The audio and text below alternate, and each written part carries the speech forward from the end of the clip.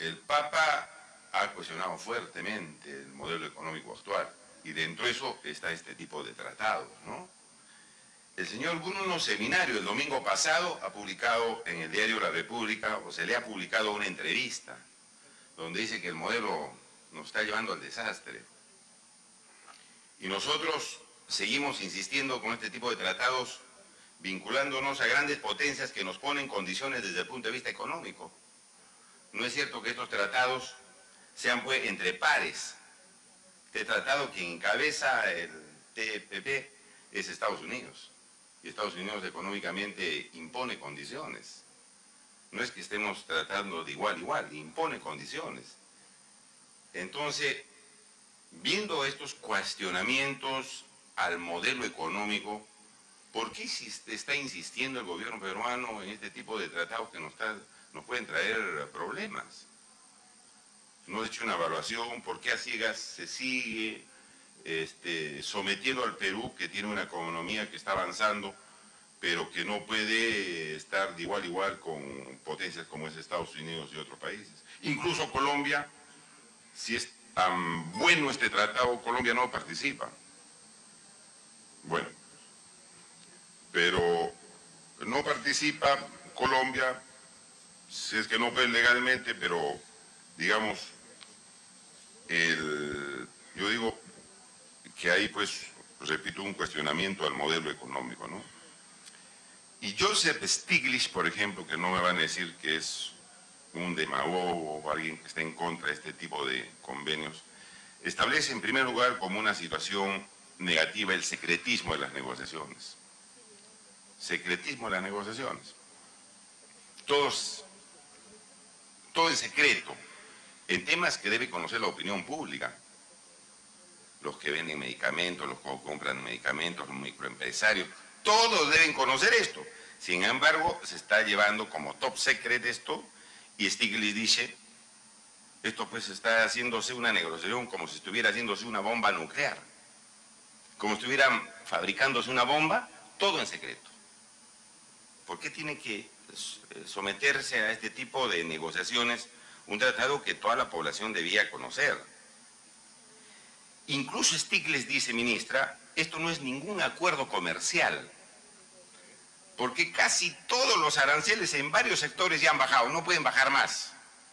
Tratado con Estados Unidos, con China y otros países, ya los aranceles han bajado. ¿Qué más nos puede dar este, nos puede dar este tratado? ¿Qué más, qué ventajas más nos puede dar? Y Stiglitz lo dice, ¿no? Dice, no es un acuerdo comercial, porque ya se ha producido una bajada de aranceles en muchos sectores y en las áreas sensibles, y descartó que Estados Unidos elimine subsidios o aranceles. Es lo que dice Stiglitz, ¿no? Y más adelante, en este pequeño análisis que hace, dice que India, por ejemplo, abolió las patentes farmacéuticas, solamente hablando de las patentes farmacéuticas. Y luego hizo un acuerdo internacional a India con Estados Unidos y le impusieron patentes, empeorando la situación de su, de su necesidad de, uso de, de, fármacos, ¿no? de medicinas.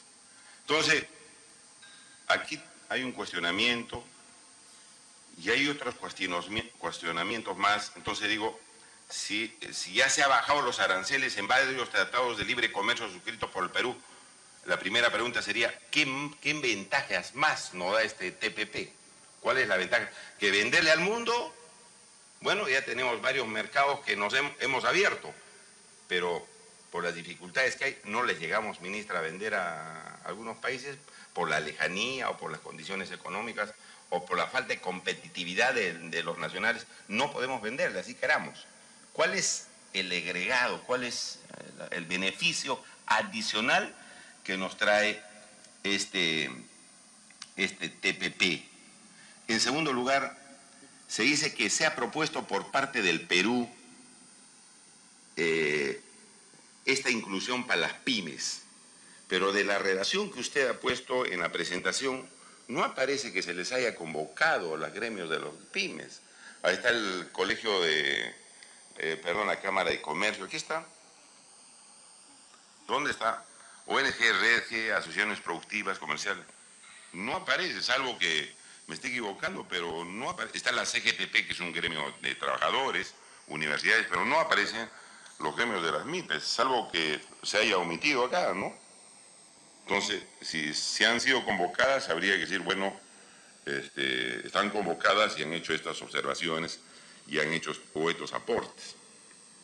Entonces, ahí nos, dirá. En tercer lugar, nos dice que este tratado, una vez concluido, va a ser revisado por la población y por el Congreso. Y ustedes y, nuestros eh, colegas saben perfectamente, y usted como ministro funcionarios, que no se puede cambiar ni una sola coma al tratado. Ni una sola coma. Es decir, concluye el tratado, lo termino, lo pongo a disposición de la opinión pública, pero no puedo hacerlo ninguna modificación, lo suscribo como ejecutivo, lo mando al Congreso, el Congreso no puede hacer la modificación y se acabó. ¿Qué beneficio hay de ponerlo ya cuando el burro está muerto, como se dice, ponerlo a disposición del Parlamento Nacional? Porque si yo no, yo no puedo cambiar ni una tilde, porque si no es de acuerdo, no se aprueba. ¿Cuál es la transparencia mínima que se está haciendo eso? Ninguna, ministra. Esto debe estar discutiéndose ya en una serie de foros, una serie de cosas, pero no hay ninguna discusión. Y lo que nos van a poner a, disposición después es un, un, documento que no se puede modificar. ¿Y qué ganamos con un documento que no se quiere modificar? O que no se puede modificar. ¿Cuál es el beneficio? Que le diga, oiga, hemos hecho esto, y hemos hecho el otro y estas son las ventajas desde el particular punto de vista del gobierno y si no está de acuerdo la comunidad nacional. Y vemos colegas que ya están pronunciándose a favor. Acá usted sabe, usted sabe que la gran cantidad de bancadas políticas están a favor de estos tratados por la misma ideología que tienen. Entonces ya estamos hablando sobre situaciones ya concluidas, pero que traen siempre una serie de perjuicios. Ahora, yo tengo acá, ministra, las 105 preguntas y respuestas que ha hecho el gobierno sobre este particular, ¿no? Y hay asuntos que a mí me parece que todavía no están respondidos. Y uno de ellos, no voy a tocar todo porque mis colegas tienen que también hacer uso de la palabra, el tema de las medicinas. Y en el tema de las medicinas, que es una cuestión que afecta a todos los peruanos, indica pues que ha habido, se vende más, se ha bajado el precio y que está, esto es una maravilla, pero si usted ve, ministra, el costo de las medicinas actualmente en el Perú es una cuestión de locos. Una cajita de, una cajita de cápsulas 140 miligramos Imbrubica, cuesta 26.486 soles para tratar la enfermedad de leucemia linfática crónica. Imagínense con las patentes. O un inyectable Avastin, precio 5.087 para tratar el cáncer del colon. Esos son los costos que tenemos en estos momentos. El atazanavir, de 29 soles que cuesta en el Perú, en Brasil está 2 soles 90 al cambio y Bolivia un sol 40.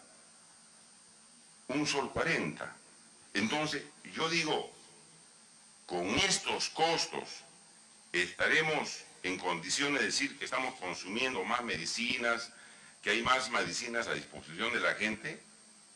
Mire los costos que tenemos actualmente y en otros, ministra, diabetes, metformina, precio, costo máximo 2.916. Exenatida, microgramos, 76.798. Y así sucesivamente. Yo no sé si estos costos van a mejorar con el TPP, porque hay patentes. Le cambian una cosita, una pastilla, y dicen, ya, este es un nuevo medicamento, señor, ustedes tienen que pagar derechos de autor. Le ponen, este, no sé, pues Panadol Forte, ya es otro medicamento y le cobran patentes al país donde se vende ese producto. Entonces, yo veo que en materia seguramente que el doctor Ugarte desarrollar con más amplitud este asunto, pero veo que eh, en materia de medicamentos estamos con muchas complicaciones y acá hay otro titular, SUNASA, precios de medicamentos en farmacias privadas suben hasta 500%. 500%. Y aquí dice que se consume más, que han bajado de valor. Yo no veo que se ha bajado de valor, porque aquí hay algunas afirmaciones que dicen que ha crecido el consumo, seguramente por la necesidad, pero que haya bajado el valor, bien difícil. Entonces, nosotros queremos saber, ministra, todos estos temas para poder este, tomar una decisión aquí en el Congreso. Yo veo un tema bastante complicado con este tratado del TPP, más abajo en estas preguntas y respuestas que se ha traído y se ha redactado por parte del Ministerio, se habla también de las patentes farmacéuticas, hablando de las patentes. Dice, si bien existen propuestas en negociación planteadas por otros países que significarían un mayor estándar en relación a la legislación actual, yo no sé qué significa eso, ¿no? Estas aún se encuentran en proceso de negociación es decir, se están negociando patentes en materia farmacéutica. Pero aquí lo dice. Aquí está la respuesta, ¿no? Se están negociando, ¿sí? Están en proceso de negociación. Entonces, tenemos esas preocupaciones, ministra, y la segunda pregunta sería, ¿el precio de los medicamentos con este acuerdo va a subir o va a bajar? Porque si va a bajar, adiós, gracias. Pero si va a mantenerse tal como están, que son precios ya prohibitivos, o van a subir, yo digo, ¿de qué nos sirve un tratado de esta naturaleza que solamente va a dar ventajas a determinadas potencias económicas? Y finalmente, fíjese, ha dicho, vamos a vender uvas, vamos a vender espárragos, vamos a vender quinoa. Yo digo, nos estamos acostumbrando a ser países de exportadores de prácticamente materias primas.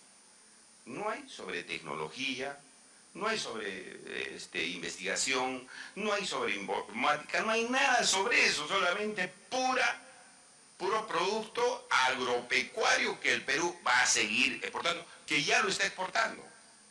Ya estamos exportando todos esos productos, ministra, con los tratados que hay.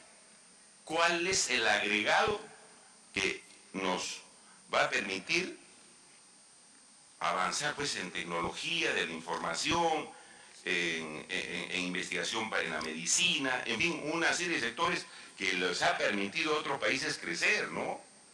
Corea del Sur, por ejemplo, no ha estado vendiendo espargos, ni quinoa, ni mucho menos eso, sino ha estado nutriéndose de tecnología y por eso ha crecido ahora y es un país mucho más poderoso económicamente hablando que el Perú. Entonces, ministra, esos aspectos de la tecnología que no lo vemos acá, ¿no? de los microcircuitos, de la microelectrónica, que lo han notado acá algunos, no están tratándose en esta TPP. Entonces, ¿cuál es, cuál es la ventaja?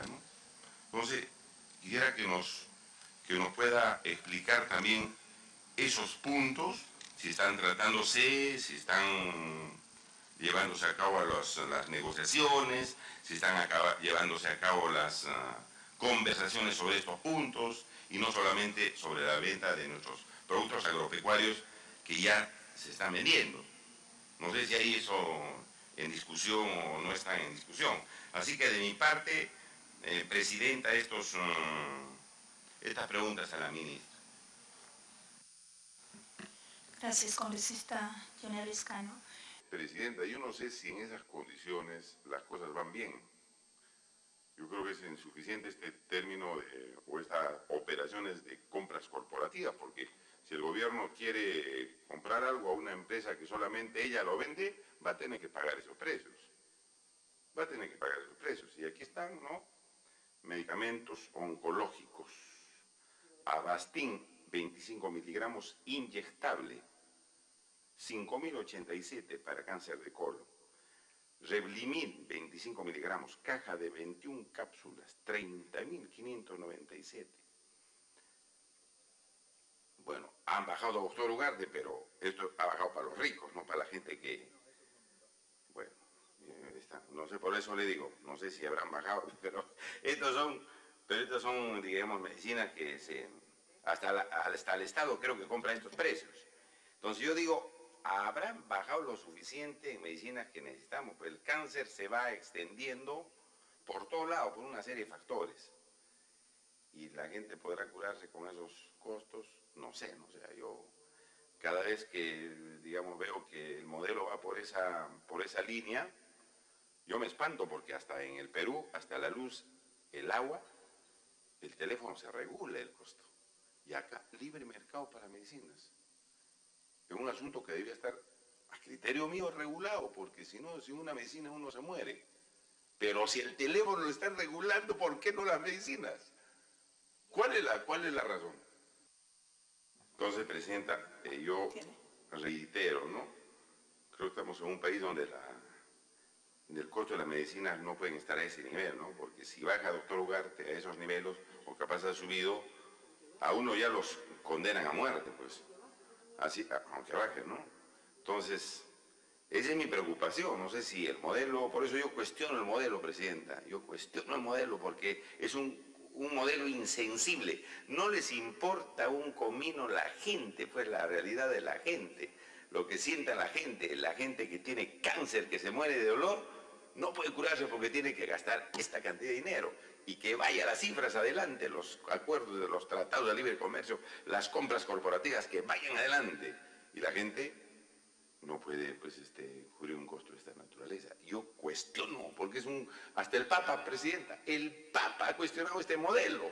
Claro, algunos que se han llenado la plata, se han llenado los bolsillos de plata, obviamente van a apoyar este modelo, pues. Pero hay gente que no tiene plata, señora, y señora presidenta, y esa es la gran mayoría de peruanos. Entonces, ¿cómo podemos estar de acuerdo con esto hasta que el Papa ha tenido que meterse en esto y decir, no estamos de acuerdo con este modelo insensible?